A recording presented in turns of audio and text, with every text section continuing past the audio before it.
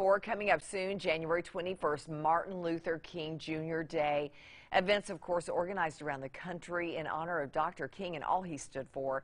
Here to tell us about the events happening in our area to get ready for is Deborah Porter from the Martin Luther King Commemorative Commission. It's so good to see you. Thank you, Lori. Thank you, for having oh, me. Oh, absolutely. You've been busy planning. So, first, for people who don't know exactly what you all on the commission do, let's talk about your purpose. All right. The purpose of the commission is actually to um, bring all these events together for King Week Glory. Mm -hmm. And um, the reason why we do it is that uh, we know that it's been important to uh, celebrate the life and legacy of Dr. King for, for many years. And this is our 37th celebration. Wow. Yes, so time is flying. Um, but we bring together a lot of uh, community volunteers, mm -hmm. and we work tirelessly just about all year, at least nine months, to make it happen for January.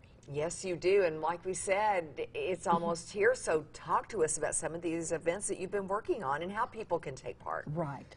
Well, our, our theme this year is the courage to lead with a greater determination. Mm. And so we're, you know, really proud of uh, thinking about courage and the determination to lead and what all uh, happens in, within that uh, realm of courage, if you will, because Dr. King was all about being courageous. Mm -hmm. And so actually we will start on the 16th, January 16th, with our interfaith service.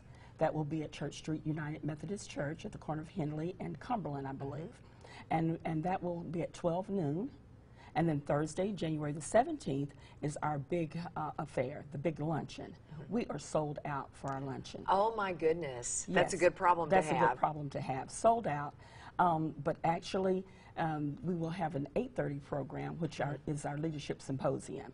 And so, when we have that leadership symposium, those that come will usually stay for for the luncheon.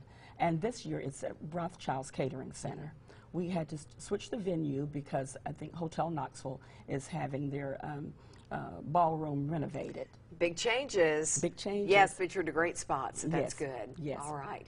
Uh, let's talk about, I mean, obviously we know the legacy that Dr. King left behind. He walked toward the problem and not away from it. Let's tell me more about your thoughts on why this is so critical. I, I, just believe, Lori, that it's important for us to not only commemorate but celebrate. Mm -hmm. We need to celebrate because of our, our youth and our children.